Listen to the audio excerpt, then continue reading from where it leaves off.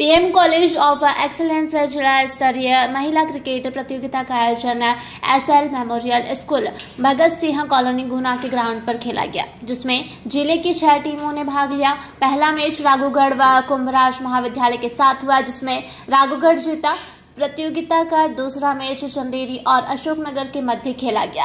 अशोकनगर ने विजय हासिल की, जबकि प्रतियोगिता का सेमीफाइनल गुना और राघोगढ़ के बीच खेला गया, जिसमें गुना ने अच्छा खेल का प्रदर्शन करते हुए फाइनल में प्रवेश किया।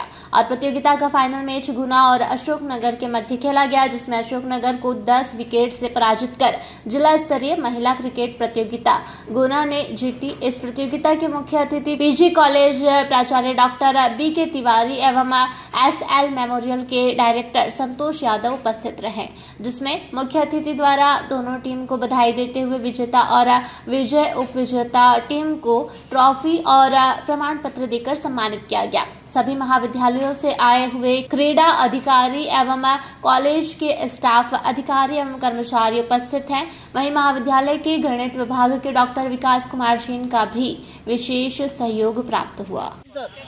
आज महिला क्रिकेट प्रतियोगिता का आयोजन जिला स्तरीय किया गया, जिसमें ज़िले की पाँच टीमें उन्होंने भाग लिया।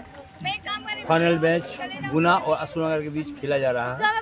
अशोकनगर ने टॉस जीता और पहले बल्लेबाजी करने का निर्णय लिया। गुना से रणधीर चंदेल की एयरपोर्ट